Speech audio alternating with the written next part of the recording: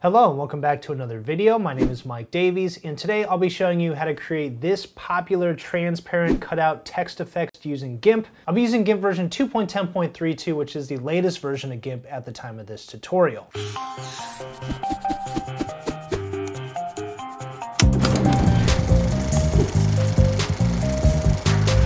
Real quick guys, before I dive into the tutorial, if you wanna see more tutorials like this one covering free and open source software like GIMP, don't forget to subscribe to my channel and click the bell icon to be notified each time I have a brand new tutorial. All right, so let's dive right in here. I'm gonna start off by opening up the photo I wanna use.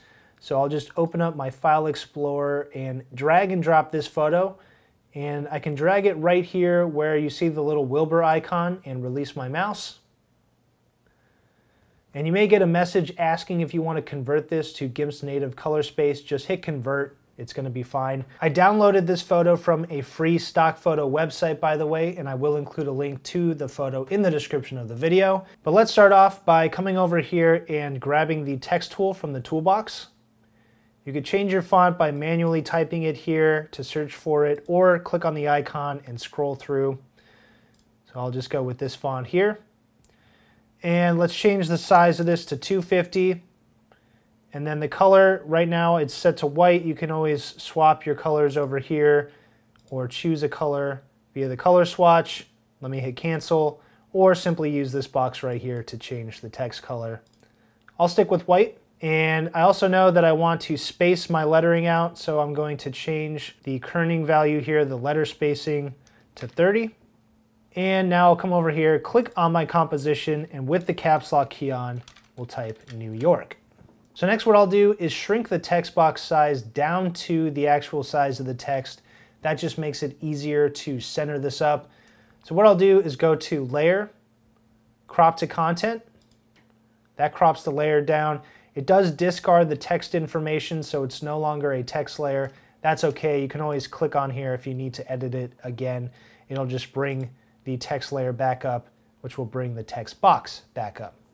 I'll hit Control Z to back up. We don't need to do that. So next I'm going to add a vertical center guide to this, and I can do that by going to Image, Guides, New Guide by Percent. We'll change the direction to vertical, set it to 50, and click OK.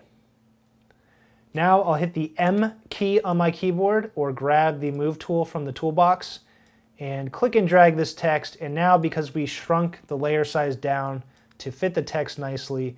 You'll see a little crosshair there and we can snap that to the center and that ensures this is nice and centered up.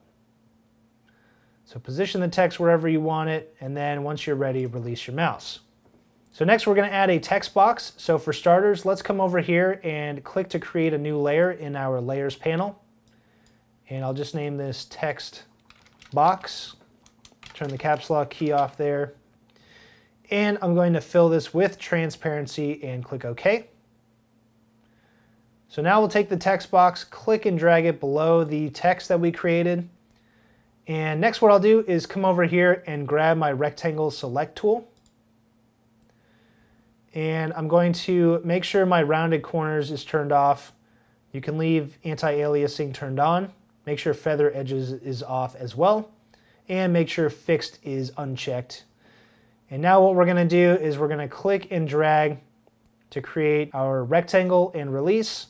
So we want it so that it is uh, basically just large enough to fit, fit our text. And then I can click in the center there and it'll snap to our center guide and release. Don't worry if this isn't perfectly centered on your text, we can fix that momentarily. So now what I'll do is fill this in with the color. I'll just use the color black. So I'll click and drag the black swatch onto the canvas and release inside the selection area. And now I'll hit Control Shift A to deselect that, or you can go to select none. So on our text box layer still, now what I'll do is go to layer, crop to content. So that's the same thing we did with the text where we're squeezing the layer size down so that it perfectly fits our rectangle. And the reason we did that is now we can align our text to the rectangle. By coming over here, you can click and hold the move tool and release your mouse on the alignment tool or hit the Q key on your keyboard. Click on the rectangle to select it, and you'll know it's selected because it has these little uh, squares in the corner. And then shift click on the text to also select the text. Once again, little squares in the corner. We're going to go to the tool options, and for align, we'll set this to first item, and we're just going to center this up. So we'll click center of target there and align middle of target. So you'll see it moved it up very slightly. So now everything is nice and aligned. So now what I'll do is come over to the text layer and I can alt click on the text layer, which creates this selection from the text. And if that doesn't work, click on the text and go to layer, transparency, alpha to selection. That'll do the same thing. Just make sure afterwards you click back on the text box layer. Then what we'll do is come over here and click on the layer mask icon and come down here and choose selection. And we're gonna come over here and invert the mask. So make sure invert mask is checked and click add. And now we have a layer mask, but our original text layer is blocking it. So if you hide that original text layer, now you'll see we get the cutout text inside that box. And once again, I can hit Control Shift A or go to select none. So that will deselect that.